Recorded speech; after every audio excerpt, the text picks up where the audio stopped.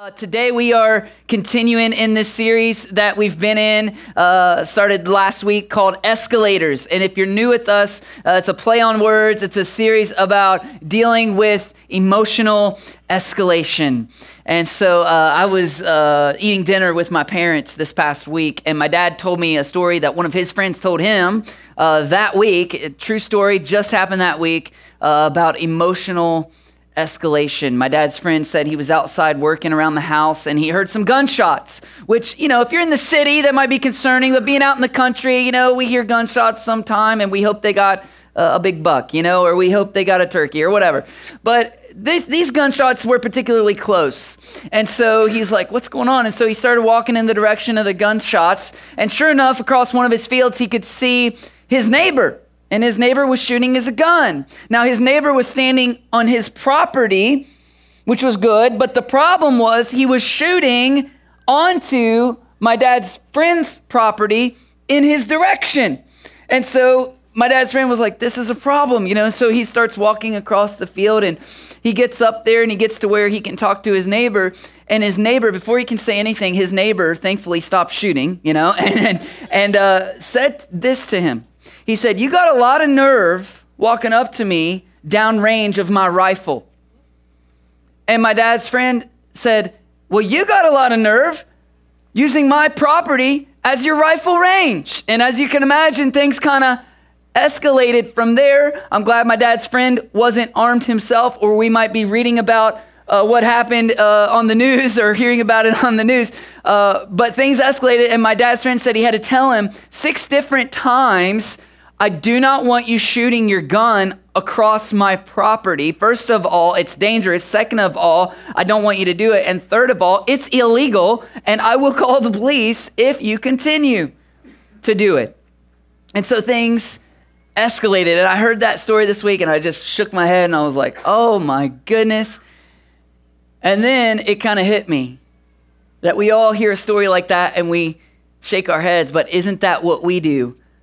So many times in our lives, in our relationships, that we stand on our own property, a place where we feel really justified, and we take shots across some lines that maybe we shouldn't cross at someone in our life, and things escalate.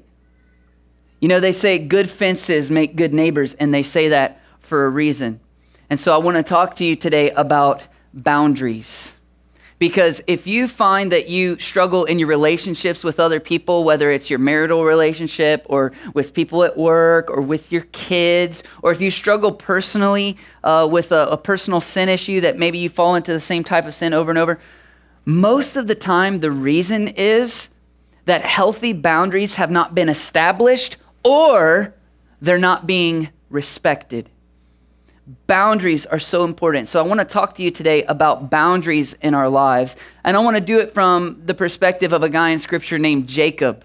Um, Jacob's story covers uh, quite a bit of the book of Genesis. And if you know his story, you know that he started out uh, not that great. In fact, life was kind of messy. Um, and, and a lot of that was his own fault because he made some bad decisions. He did some things he shouldn't have done. And in fact, his family gets so upset with him at one point, his own brother wants to kill him.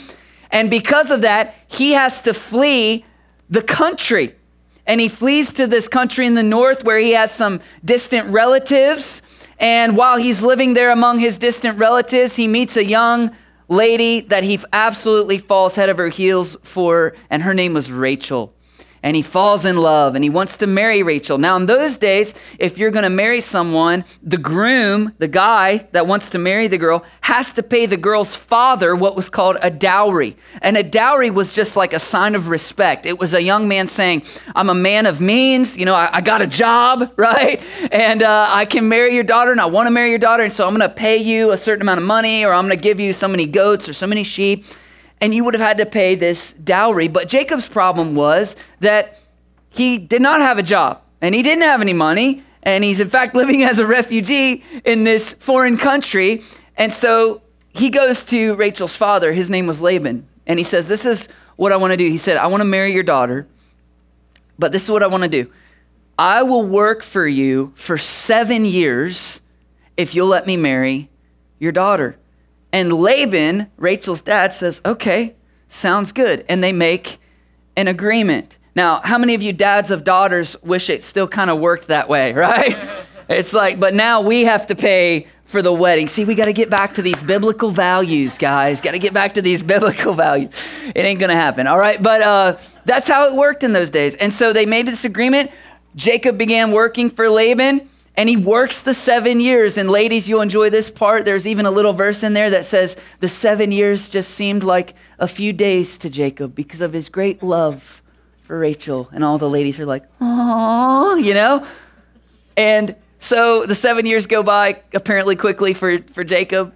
And but the day comes, he's like, All right, it's been seven years. It's time. I, I wanna I wanna marry your daughter. And Laban says, Okay. And so they have the wedding, they have the wedding night. And Jacob wakes up in the morning and it's not Rachel. It's her older, apparently uglier sister, Leah, whom Laban could not marry off. Now, if you're wondering how that happens, I'll just say two things really quick. The first one is they would wear a veil when they would get married so you could only see the eyes. And the second thing is thank goodness for Thomas Edison. Can I get it? Amen. So they could see what's going on on the wedding night, right? But he didn't know, all right? And so they consummated the marriage. And there, in those days, you're married. All right, divorce is not an option. There's no turning back. And so Jacob is ticked off, understandably, and he goes to his real stand up father in law, you know, and says, What in the world have you done? I wanted Rachel, not Leah. And Laban, this is the excuse he offers. He says, "Well, in our culture, you see where we live on our on our property over here, how we do things is we never marry off the younger one. Rachel was younger before we marry off the older one. And so I had to give you Leah first. That was his excuse. And Jacob gets so ticked off and, and, and he says, Well, I want to marry Rachel. And Laban says, Okay, you can marry Rachel too for another seven years of work. And Jacob really doesn't have a choice. And he says, Fine, I'll do it, but I'm not waiting. I want her now, and then I'll work for another seven years. And so Laban agrees. Now, before we go any further, that just kind of paints a picture of the type of family that Jacob just married into. Okay? Now, all of our families are a little dysfunctional at some level, but Jacob's family puts the fun in dysfunctional, okay? Like, nobody in here's got anything on, on this family. And so it's like that for 14 years. And after those 14 years, Jacob's not only married into this family, but he's working for his father in law. And so after 14 years, he says, I've had enough. I'm ready to leave. I'm going to go back to where I'm from. We're going to live down there. And Laban says, Listen, don't leave. He goes, I know that God has been blessing me and my household because of you. And that's a word of encouragement for some of you here today who maybe maybe you were born into a really unhealthy family or maybe like Jacob you kind of accidentally married into a really unhealthy family. It's a word of encouragement that God knows how to take care of his kids even when they're in the midst of some really unhealthy circumstances or relationships.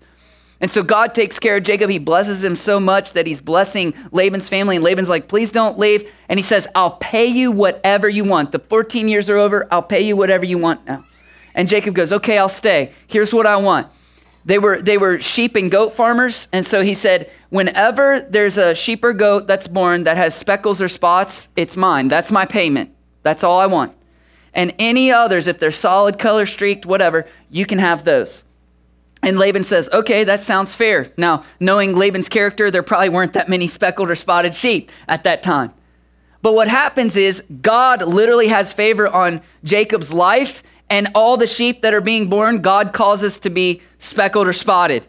And so, over the course of another six years, Laban notices this and he's getting upset because, you know, all of his uh, resources are becoming owned by Jacob, his son in law. And so, 10 different times over six years, he changes his wages.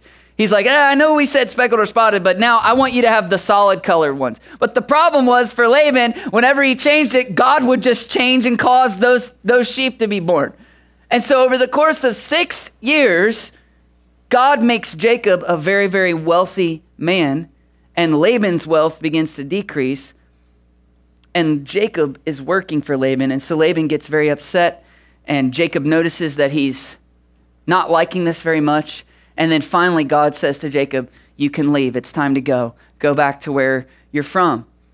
And so at this point, you would think that Jacob would sit down, have a nice conversation, tell him what's going to happen, they're going to leave, but he doesn't. Instead, he gets his wives and his families, and he says, Hey guys, we're leaving. We're moving back where I'm from to live with among my parents and everything. Um, we're leaving tonight, so get everything ready. And in the middle of the night, they all just up and leave without saying a word to Laban.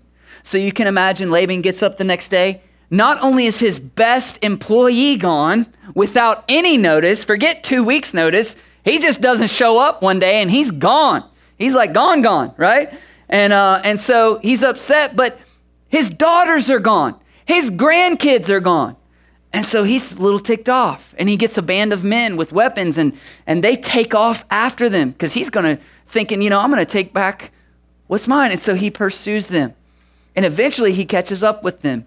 And when he catches up, things escalate and they get into this argument, this conversation. But I want to show you what they do in the midst of this conversation because it helps to de escalate their relationship and de escalate the situation. It's in Genesis 31. We'll start in verse 36. It says, Jacob was angry and took Laban to task. What is my crime? He asked Laban. How have I wronged you that you hunt me down?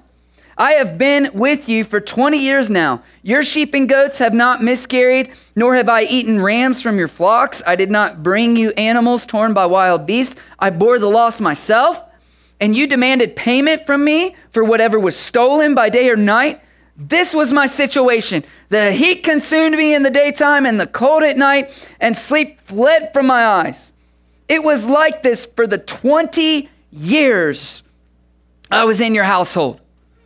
So finally, after 20 years of basically hating life in Laban's household, not only living among him, but working for him, Jacob is finally honest with him about what it was like for the first time in 20 years. I might simply suggest at this point that maybe this conversation was about 20 years overdue. Jacob goes on and continues to vent, and he says, I worked for you 14 years for your two daughters and six years for your flocks, and you changed my wages 10 times. If the God of my father, the God of Abraham, and the fear of Isaac had not been with me, you would have surely have sent me away empty handed. Now, that's his perspective on the whole situation, but how many of you know there's always two sides to every story? And so Laban responds, says, Then Laban answered Jacob, The daughters are my daughters the sons, my sons, and the flocks are my flocks. Everything you see is mine. In other words, he's saying, Boy, you ain't got nothing without me. Those are my daughters you married. Your kids come from my daughters, and all your sheep and goats came from my flocks. If it weren't for me, you wouldn't have nothing. And yet he realizes there's not really much he can do about it. He says, But what can I do today for these daughters of mine or the children they have borne? And so maybe for the first time in his life, Laban does something really wise. He decides to draw a boundary. He says, Come now, let us make a covenant, you and I. Let it be a witness between the two of us. A covenant back in those days was a, a promise or an agreement it was also like a contract, but in their day and age, they didn't have pen and paper. They didn't get with lawyers and each have a copy and write it all out and say, you know, that's what we do in our day and age. So if we make an agreement, we both agree to it. And that way, if you do something against or, or cross the boundary that we set up, I've got this to prove it and you've got yours to prove it. But in this day and age, they didn't have that. They didn't do that. Instead, they do what Jacob does next. It says, So Jacob picked out a stone and he set it up as a marker. This would have been a very large stone, a very large rock. Probably several, several people would have, it would have taken several people to lift it up, to move it. And he sets it up as a marker. And as you're going to see here in a minute, this is a boundary marker. But what's interesting is it marks not only property lines, but also relational lines he sets it up and it says jacob said to his relatives gather stones. And they took stones and made a mound and they ate there by the mound. Then laban said this mound is a witness between you and me. And he's saying here's what we're agreeing to. If you mistreat my daughters or take other wives, though no one is with us, understand that God will be a witness between you and me, right? Like every good parent learns how to say to their children, Laban says to Jacob, Hey, listen, you might try to do some shady stuff when I'm not around, but God is watching you, right? Any of you parents bless your kids with that? Like, hey, remember, Jesus is always with you. He's always with you, right? God is watching you. God is watching. And that's what he's saying to Jacob. He's like, I'm not going to be there, but God is my witness. This is what we're agreeing to. You are not to mistreat my daughters or marry other people. You stay committed to them, all right? Don't mistreat them. Then he says this Look at this mound and the marker I've set up between you and me. This mound is a witness, and the marker is a witness that I will not pass beyond this mound to you, and you will not pass beyond this mound and this marker to do me harm. So Laban does something very wise here, and they both agree to it. They say, Man, our relationship is really unhealthy and things are escalating. We need a boundary. And yes, that boundary separated property, it separated uh, a, a, physical line so that he's saying, Listen, Jacob, I don't want you coming up here to hurt me. And listen, I won't come down there to hurt you. But what blows me away is it's also relational. He's saying, Here's the terms of our relationship. I want you to take care of my daughters. I want you in your personal integrity to have boundaries in your own heart so that you will take care of my daughters and um, of my grandkids. And they both agree to this. And here's why I think they both came to this realization that we all need to come to today that we absolutely need healthy boundaries in order to keep us from harm. We need healthy boundaries in all of our relationships. Every relationship we have, we need healthy boundaries to keep us from harm. And we need healthy boundaries in our own hearts and minds to keep us from harm. What do I mean when I talk about healthy boundaries? What I'm talking about is clarifying expectations. Clarifying expectations when you set boundaries in your relationships or in your in your own heart or in your own mind what you are doing is you're clarifying expectations okay? So so think about it this way. Um, whenever you struggle in relationships whether it's spouse at work with your kids or, or, or, or when you're struggling in your own personal integrity it's almost always because boundaries haven't been established or or respected. In other words you have expectations, it's almost always because expectations are not being met, okay? So, so think about this. You're going to get married, okay? And you're so excited. And you have expectations of what that marriage is going to be like. But then you get married, and after about three weeks, you realize this is not going to be what I expected. This person is not, you know, living with them is a little different than going on a date with them, right? Maybe you're a husband and you have an expectation that your pretty little wife is going to wash all your dishes and clean all your clothes. And she's going to, I know she's got a degree, but she's going to stay home with all the little babies and just raise them up. And uh, it's just going to be great. And when I get home from work, I am done working. And she's probably going to give me a foot massage every evening, too, on top of it all. And she's going to love it. She's going to be like, this is what I was born to do right? And then you get married. And she's like, uh, I plan on using my degree. You tried staying at home 12 hours a day with these kids, right? I want to go work, you know? I'm ambitious. I got goals. And you can do your own laundry, do your own dishes, and you can forget about the foot massage, right? And so your expectations aren't met. It causes things to escalate. Or how, how about maybe in your job? Your boss calls you in and he rips you a new one and tells you his expectations aren't being met and, and, things escalate because you're like, I didn't even know those were expectations. What are you talking about? Right? Expectations going unmet causes things to escalate. Or how I don't even have to mention parents with kids. Our expectations go unmet almost every single day of our lives, right? And things escalate, right? When when expectations aren't being met, causes things to escalate. And when you find yourself in those situations, it's time for what I call a tough conversation. It's time for a tough conversation. You need, like Jacob and Laban here, to have a boundary setting conversation where the expectations are clarified so everybody's on the same page. This is how this is going to work. And here's the thing, and here's what you have to understand today boundary setting conversations are rarely easy, but they're desperately needed. And listen, you need to understand that because this right here is the reason that we avoid these conversations so much. Because they're not easy, and we know they're not easy, so we avoid them. They're rarely easy, but they're desperately needed. That's why I call them a tough conversation. And listen, I don't call it a tough conversation because you act tough and you be mean and you give them a piece of your mind and you tell them how it is and you tell them how they screwed up. Because if you do it that way, you're only going to escalate the situation and make it worse.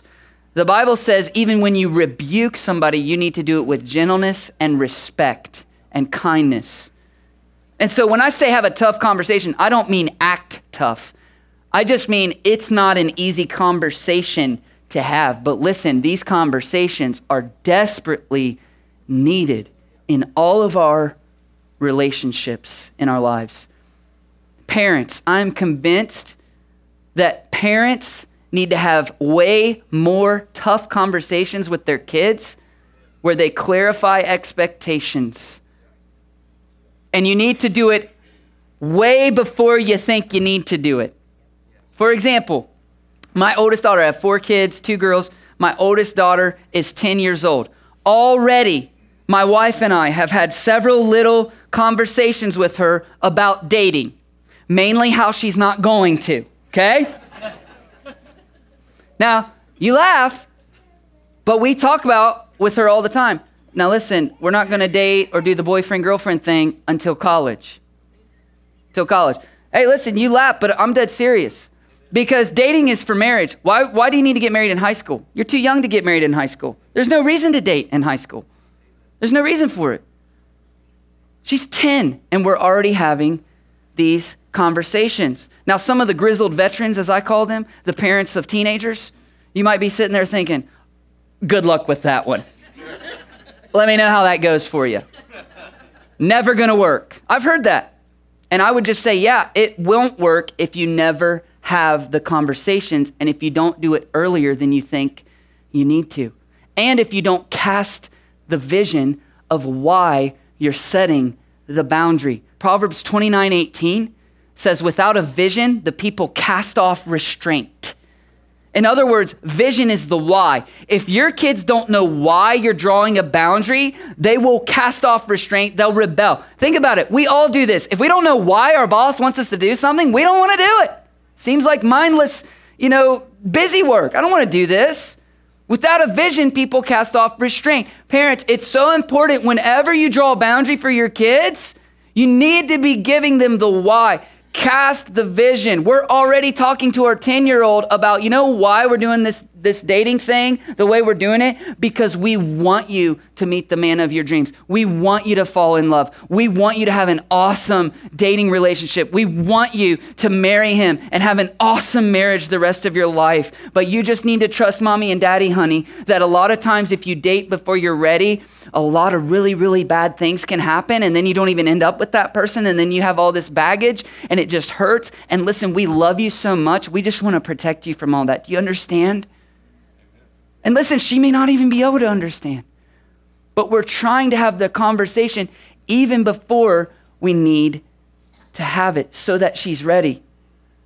And so, parents, you got to have way more tough conversations where you set clear boundaries for your kids and you cast the vision of why you're doing that. I'm so blown away how many parents I sit with whose kids do things that the parents don't expect them to do and they get into trouble. And then I ask them, Well, have you ever Set those boundaries. Have you ever sat down and explicitly said to them, you know, don't do these things, do these things? And I'm amazed how many times parents have never even had the conversation. Well, they should know you shouldn't do drugs or drink or go to parties like that. Everybody knows that.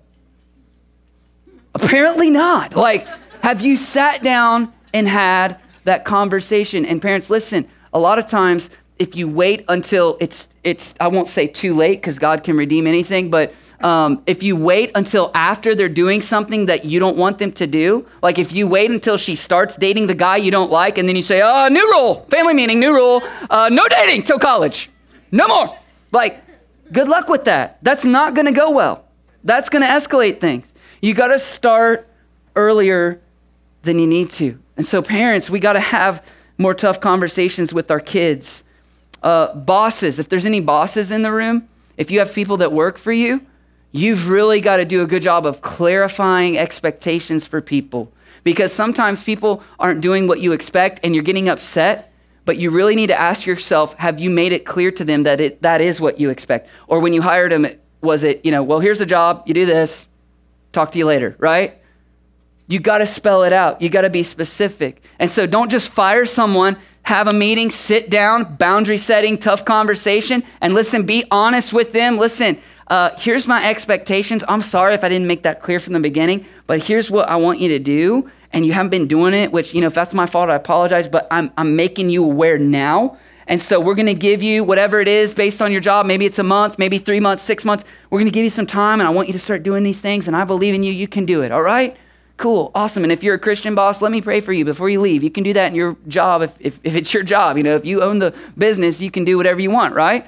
And so, listen, do that. And then if they don't meet the expectations, then have the next tough conversation where you set them free to go find God's will for your life because it's obviously not working for you, right? Okay? And that's okay too. Sometimes that needs to happen. But but make sure that the expectations are clear. And listen, it works in reverse. Employees, if your job is not meeting the expectations, you need to talk to your boss about that.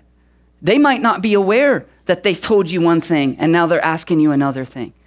You need to make them aware. You need to have a tough conversation. I, have talked to several people, two or three people over the last few years who are dissatisfied with their salary. And we talked to them, it was like, well, man, talk to your boss about it. And they actually got a raise after talking to their boss, right? Because they had that tough conversation. But a lot of people shy away from those tough conversations because we assume it's going to go badly, right? And so we got to have more boundary setting conversations. Spouses in your marriage, if your marriage is not meeting your expectations on a consistent basis, it's time for a tough conversation with your spouse. And if you want that to go well, I, I, suggest that you ask each other three questions. In fact, you should ask each other these three questions very frequently, if not weekly, uh, at least monthly. I, have lost count how many times my wife and I have asked uh, each other these three questions. First of all, um, is there anything I do ongoing, anything I do or have done in the past to make you feel disrespected or unloved? Is there anything I do or have done to make you feel disrespected or unloved? Like, fellas, if she's just giving you the cold shoulder, I don't care if she says she's fine, all right? She's not fine, okay? So sit down and ask her this. And listen, whatever she says, listen, just nod, and this is what you say I'm sorry. Okay? Do it. Can we practice that, fellas? Can you do that way? I'm sorry. Yeah. No matter what she says, do not justify. Don't explain. Well, I just said that because you did this. No. Okay? Escalator to crazy town. Okay? Don't want that to happen. I'm sorry, honey. I'm sorry. Okay? Ladies, vice versa. I'm sorry. I'm sorry, I didn't realize I did that, or I realized I did that. I'm sorry. I won't do that again. I'm sorry. Next question What can I do proactively to help you feel loved and supported? What can I do to help you feel loved and supported? And lastly, how can I pray for you? How can I pray for you? If you sense there's tension, start with the first question. Maybe things are going great, or you think they're going great. Just start with the second question How, oh, how can I help you feel loved and supported? How can I pray for you? We need to have more of these conversations in our marriage, these boundary setting conversations. And guys, fellas, I'm trying to help you out here. Listen, if you go home today and you're like, hey, honey, you know, preacher talked about this, let's have one of those conversations, right? You'll be being proactive. You'll help clarify the relationship. You'll help her expectations get met. And you're going to score some major points, okay? She'll be like, mm, my man, he's a man of God. He just, mm. We go to church. I think I thought he was playing on his phone, but he listened today. Mm. Points on the scoreboard, guys. That's all I'm saying, all right? Score major points. If you're proactive about it, don't wait until she's upset with you. Be proactive, okay? That's just a freebie, all right? But listen, listen, we got to have more boundary setting conversations. You know, Jesus talked about this. He said it this way in Matthew 18, verse 15. He said, If your brother sins against you, go and confront him privately. If he listens to you, then you have won your brother over. Isn't that awesome? You know, you know why we don't have boundary setting conversations so often is because they're tough and and you know why? We imagine they're going to go poorly. It's like, oh, I'm not walking into that water. Like, this is going to go badly. Hey, listen, what if it went well? What if it changed things? What if the rest of your life, that relationship is different and awesome because you had the courage to have a boundary setting conversation and you clarified expectations? What if you win them over? Or what if you find you've been doing things unintentionally and you change and, and everything's different? Why do we always assume it's going to go badly? But listen, regardless, they're just tough conversations, aren't they? Jesus says, if your brother sins against you, go and confront him. Confrontation is never fun. It's not fun. There, I hate com- confrontation, you know? And it's just because I, am a gracious, kind person and I just, I just hate to confront people. Now, I've talked to some people who are like, I don't mind it, I'll do it, right? there are some people who don't mind confrontation. There are some people who are like, yeah, let's have these boundary setting conversations. And listen, those are the people who need to be really careful because you can enter into it and you can act in ways that aren't consistent with Scripture. And you can act in ways that Jesus doesn't want you to act. And you can step all over people's feelings. The Bible says if you have these conversations, do, do it with gentleness and respect. And listen, somebody told me this about myself and my own personality, and I want to bless some of you who hate confrontation in your life. Some of you people out there who are so meek and mild, and you're like, oh, I don't know how they're going to take this. I'm so worried. Listen, when it comes from you, it will, it will be so effective. It'll be more effective than when it comes from somebody who enjoys the confrontation. Because it, when it comes from you, first of all, you never hardly ever say anything. So when you say something, they're going to listen. But secondly, you'll say it with such love that they'll know it's coming from a place of love and they'll actually listen and they'll actually change a lot of the time. And somebody blessed that with me and said, So, Aron, don't, don't shy down. People will receive it from you because they know that it's coming from a place of love. But listen, we've got to learn to have these tough conversations. Jesus says if your brother sins against you, this word brother here is just a general term. It just means, you know, be like if I said, you know, if anybody sins against you, if somebody sins against you. And so let me make it really personal for you today.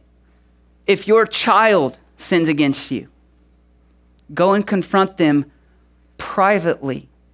Privately's a key here in any relationship, in any circumstance. The Bible says, go to them one on one. Then it goes on to say, if they don't listen, bring in somebody else. And then if they don't listen, you know, tell everybody, you know, like then deal with it on a more public level. But go to them, go to them privately. If your child sins against you, if your coworker sins against you, go and confront them privately. Maybe you don't need to tell the boss yet. Maybe you don't need to tell everybody else yet. That's called gossip. It'll only make things worse. Go to them privately and say, hey, listen, we haven't been seeing eye to eye. Let's talk about this. Let's set some boundaries. Let's, let's clarify some expectations of how this is going to work. How about this? If your spouse sins against you, go and confront them privately. The word confront, the word sin there, they're very strong words, but sometimes we need to have these conversations when, when nobody's really sinned. It's just the expectations aren't clear and people are stepping over people's boundaries. And, and so there's just tension and frustration building, and, and nobody's really done anything terribly wrong. It's just we need to really talk and clarify expectations. And listen, these conversations are rarely easy, but they're desperately, desperately needed. And that's why God has them so much in His Word. You ever notice, like, most of the Bible is like a boundary setting conversation from God to us? Uh, don't do this, don't do this, don't do this, don't do this, don't do I want you to do this. Don't do this, don't do this, don't, right? And then what does he say? He gives us stern consequences. Like, if you do these things, like you could spend eternity separated from me. I mean, most of the Bible is a boundary setting conversation. And that's what has led so many people who don't understand God's heart to assume he's like some cosmic killjoy. Like he just doesn't want me to have fun, you know? He, he, just, he just wants me to be miserable. Got all these rules and all these warnings. Seems so unloving. Listen, God doesn't draw all these boundaries because he's a cosmic killjoy. God call, draws all these boundaries for us because he's a loving father and he wants to keep us from harm. And he created us, he knows how we work as individuals, and he knows how relationships work better than anybody. And so he's drawn boundaries for us and he's warned us of what will happen if we cross those boundaries. We live uh, several miles south of Mount we're closer to Russellville, and off of a back road and a country lane, and it's a beautiful house. Uh, we love living there, kind of out in the country. And we have two acres uh, that we live on, and it's absolutely beautiful. And, and maybe the best part is like there's a, a farmer next door who owns like almost 200 acres all around us. And so there's just fields all around us. And I love it when the FedEx guys come up and they get out and they're like, this place is beautiful. How much land do you own? And I'm like, uh, two acres, you know, like like see that fenced in part and this part that's mine, and then everything else is the next guy's. Uh, but we love living there because of all the space. It's a very spacious place, and my kids love playing out in the yard, and I love that they love playing out in the yard. But several times now, I've pulled them in for a boundary setting conversation, and I go, "Hey guys, you can play wherever you want today. It's a beautiful day, but listen." See that piece of ground over there? That's flat and black and smooth, that's called a road. You're not allowed to play on the road because you could die, right? Capiche? Have fun, right? Like, those are the conversations, right? And, and listen, I literally have had that conversation. I've literally told them, don't play on the road because you could die, guys. You could die. Literally have drawn that strong of a boundary. Now, listen, would you call me an evil, unloving father? Because I've been so stern with my kids and I've drawn such a strong boundary for them and I've warned them of the devastating consequences of what could happen if they ignore the boundary I've drawn? No. In fact, it shows I'm the opposite. That I actually love them deeply and I want to keep them from harm.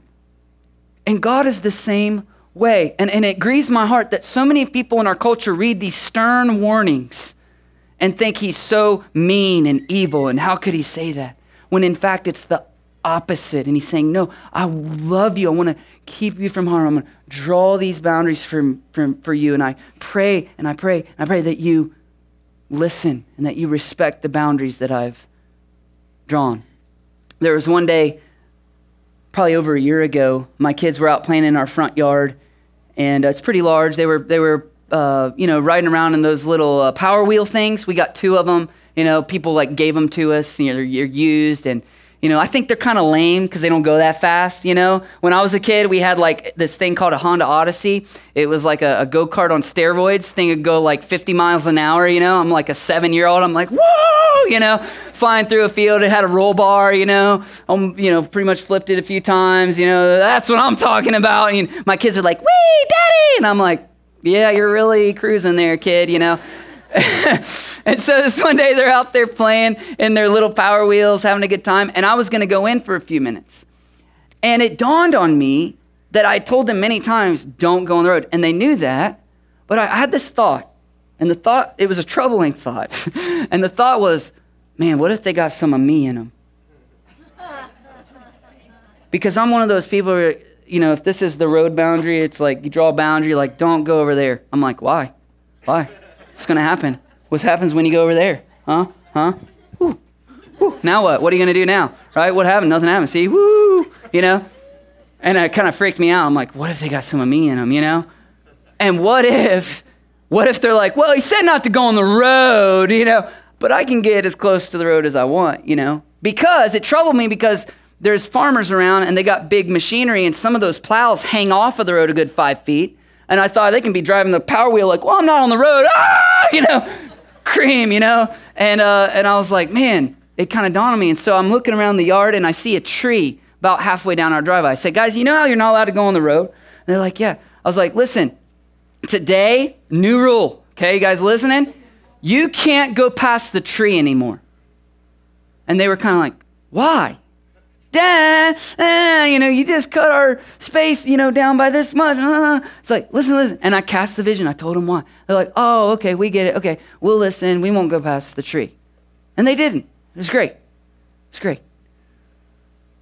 I'm convinced when it comes to our personal integrity, we need to draw the boundary further back. Like, why do we play these games so many times in our relationship with God or in our own personal integrity? It's like, well, I want to see how close I can get to this sin and, in, and maybe get some pleasure from it without actually, oh, I'm not technically standing on the road, I've just got one toe on it. Why do we want to see how close we can get to the boundary without actually crossing it? And then we wonder why we're so miserable. And I wonder if it's because we're too Christian to enjoy sin or too sinful to enjoy Christ. I don't know about you, but I'm, I'm done playing that game. I, I want to stay cl- as close to my Heavenly Father's heart as possible. That's what I want to do. And so maybe, maybe the reason that you've struggled in some sin issue in your life is you've been playing that game. And what you need to do, God's drawn the boundary here, but in the in your own heart, for the sake of your own integrity, because you know you're a weak person who is tempted, you need to draw the boundary further back. In fact, Jesus talked about this principle. He said to the people he was teaching, he said, You've heard it said, don't commit adultery. That's, that was God's original boundary. I'm telling you, don't even look lustfully at a woman.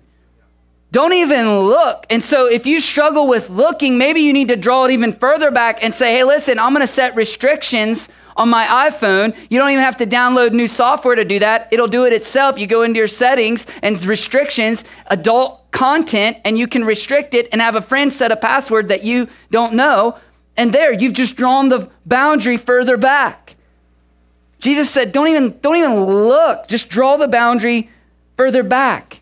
So, how about we don't just avoid getting drunk or smoking pot? How about we avoid the people and places where those things happen?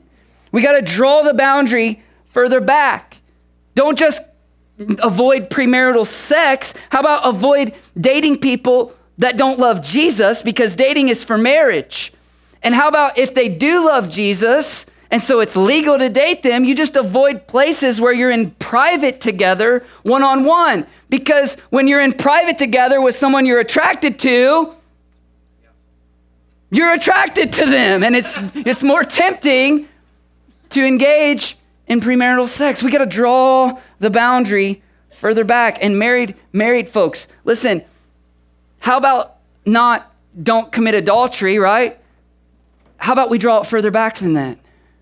Maybe a boundary you need to draw in your marriage is listen, hey, I'm not going to have a one on one meeting or I'm not going to have a lunch appointment with someone of the opposite sex one on one. That is a personal and professional boundary that we have here at church. That's self imposed. there's, no, there's no law when you start a church that says you have to do that. But that's something that my last pastor taught me, and I'm like, that's a, that's a wise thing because I want to be above reproach and I want to stay far away from any hint of temptation. I want to guard my marriage. And I'm going to take a step further back and I'm going to set the boundary further back. And so I don't have meetings with people of the opposite sex one on one, period. I don't even pray with them unless we're in public and we're in church. And so if they want to meet for counseling, prayer, I'm like, hey, can your husband come along? Can my wife come along? Can another prayer team member come along? Because I won't do that one on one. It's time to draw the boundary further back. Because I don't know about you, but I want to stay as close to my Father's heart as possible because I know He has the boundaries for a good reason, because He's a loving Father and He wants what's best for me. Because we need boundaries to keep us from harm. Boundary conversations are rarely easy, but they're desperately, desperately needed. I want to close with this thought. I grew up singing an old hymn called Come Thou Fount, and it became one of my favorite hymns uh, of all the old ones we used to sing in church. And the reason it was my favorite is because I so identified with the second verse, which said this Oh, to grace, how great a debtor daily I'm constrained to be. Let thy goodness, Lord, like a fetter, bind my wandering heart to thee. A fetter was the handcuff part of a chain that kept you bound to something. And the hymn writer was saying, God, if that's what it takes, just handcuff me and keep me chained to your heart because I just don't want to stray too far from you. And then my favorite part, because of its confessional nature and the honesty of it, and because I, I feel this so often, it says, prone to wander, Lord, I feel it, prone to leave the God I love. So here's my heart, Lord. Take and seal it. Seal it for thy courts above. Our Father God, that's our prayer today. That you would take our hearts and you would bind them and yet you would seal them, Jesus. God, I pray for all of us in this room that you would help us see your boundaries for what they are, not harsh commands, but loving, compassionate concern from a Father who loves us so much. God, I'm so thankful for your boundaries and your warnings that you've given us in Scripture. God, I thank you for Jesus who died on the cross, who has paid for every person in this room anytime we've ever crossed a boundary and hurt ourselves or hurt our relationship with you or hurt other people. Jesus, I'm so thankful today for your grace.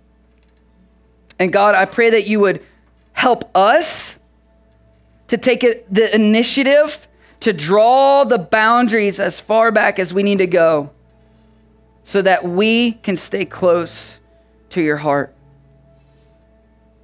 Father, we love you and we want to honor you with our lives. So that's our prayer today. In Jesus' name, amen.